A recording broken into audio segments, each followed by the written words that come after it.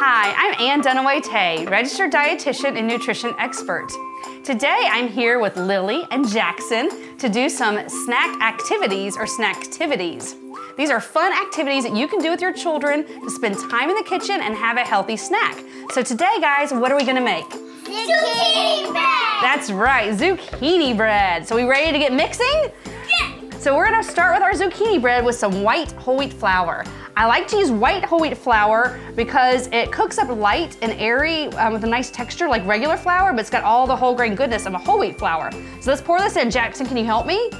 All right, so we're gonna get this, uh, Whoa. whoa, all that in, and now we're gonna start to measure. I think, Lily, you got my teaspoon measure. Can you hold that out flat so I can pour in the salt and then we can dump that in? There we go. Now, can you dump that in for me? Oh, no, this big bowl with Jackson's got. Okay, we're gonna use your bowl in a minute.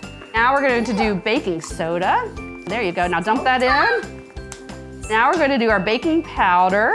All the words. Oh yeah, dump that baking powder in. So we're doing a teaspoon of that. You can dump it all the way in. Now Jackson, can you start to stir for us with your whisk? And we're gonna also do a tablespoon of cinnamon. Dump that in where Jackson is. In here. Yeah, that's okay. Just keep stirring. Now, while he's working on that, Lily, can you help me mix up the wet ingredients? Now, what are these? Eggs, that's right. So we got three eggs we're gonna dump in here. And you can put in your whisk and you can go ahead and start stirring it around.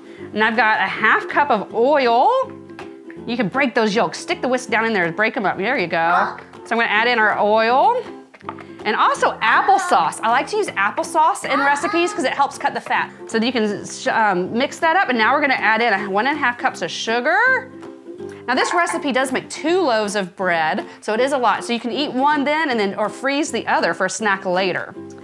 And now we're gonna add in some vanilla.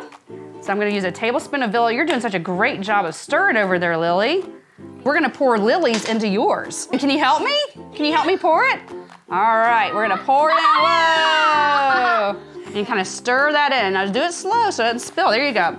And now we're gonna add some grated oh, zucchini. it's hard. and now parents, this is definitely a job you're gonna wanna do yourself. Just kind of grate it on a grater. And we just need two cups of zucchini. So I'm gonna add this to what I already have here. And we're gonna dump that in. There's our zucchini. There's the zucchini, the zucchini bread. So you stir that up, and then you pour that into two greased loaf pans, and then bake it in the oven at 325 degrees for about 45 to 60 minutes. We got zucchini bread. This is what it looks like after it comes out of the oven. Do you wanna take a piece and try it? Okay, it's really good. I'm glad you like it. Thank you for watching. Please go to the Primrose YouTube channel to see more fun snack activities to do with your children.